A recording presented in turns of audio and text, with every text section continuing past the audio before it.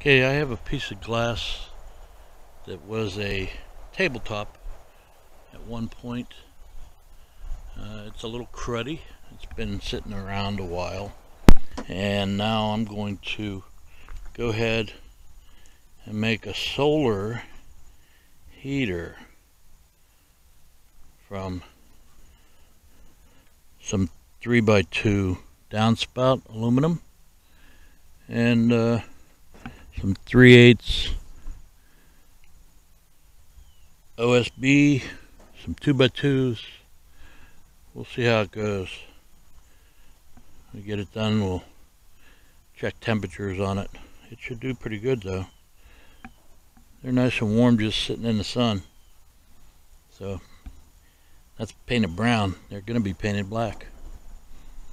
Should do pretty good. Let's see.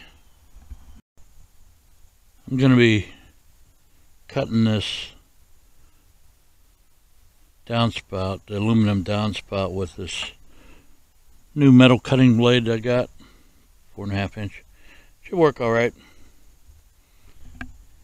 You like my Franken battery?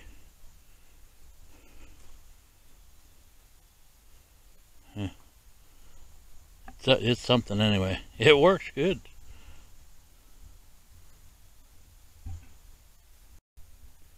Okay, I got them cut. I'm going to have eight tubes in here. Just a little space in between them. And I got a about a four inch right now it's four and a half um, I think plus the plate that I'm to put in here should be four inch hole opening here for the airflow so I'm going to have a a chamber on the top and the bottom. They're not set perfect. I'm going to cut slits in there and fold them over, make flaps to uh, hold them in place. But I got to get a sheet of material in here with holes cut in it so that I can put these in it and have a chamber, a baffle. And of course I'll have it up off the bottom. It won't be touching the bottom. I have some silver backed styrofoam I'm going to put in the bottom of that to help insulate it and with the silver side up it'll help reflect some of the sunlight back onto the actual tubes. So that's pretty much it. Now I'm going by the glass that I have. So there's no sense giving you dimensions because yours are going to be different. So my glass will fit in here with a little bit of space left over and so it just sits on the inside of that lip but I gotta make it a little higher and put some baffles in there so that's next I'm using a Forstner bit to cut the corners radius and then I'm using a jigsaw to cut out the middle and you can see on there fits pretty good. Okay, so we're going to have eight of these all along here.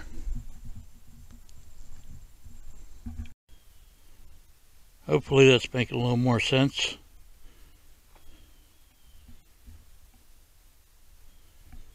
That'll be a half inch up off the bottom and about an inch to the glass.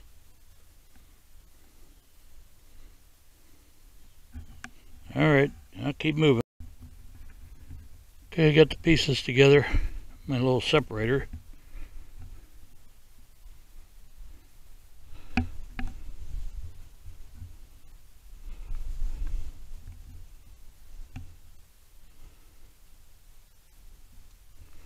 This will set down. There we go. Next part done. You see how it's half an inch up off the bottom? So it's not touching anything. Okay, got the thing glued and screwed on the side there. And I gotta put the ends on and then the sides all the way around it. All four sides, close that in. It's all done. Except for paint. Gotta cut the hole. Put the glass on seal it up. You get the idea. Now you see what it'll look like with the glass on anyway.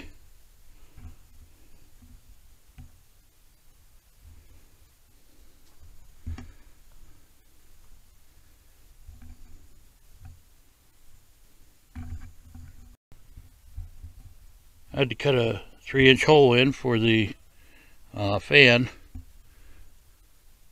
so that uh, I can get air in and out. I got one here, one down at the other end. One's input, one's output. So I just wanted to show you that before it got painted and you can't see what's going on there. But I just used a uh, hole saw drilled her out.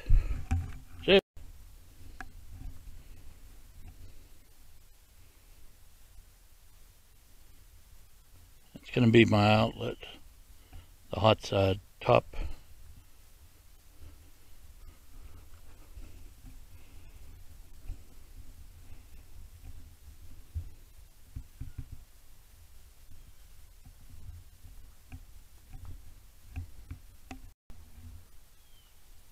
Now there's my pipes going in, insulated, going into the bedroom window.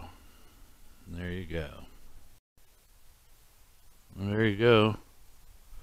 There's the solar panel with one crack up through the middle. Yeah, it cracked.